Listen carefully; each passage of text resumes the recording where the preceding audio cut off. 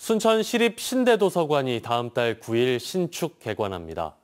순천시는 지난 2021년부터 사업비 186억 원을 투입해 착공한 지하 1층, 지상 2층, 연면적 5천여 제곱미터 규모의 시립 신대도서관이 완공돼 오는 28일 임시 개관에 이어 다음 달 9일 정식 개관할 예정이라고 밝혔습니다.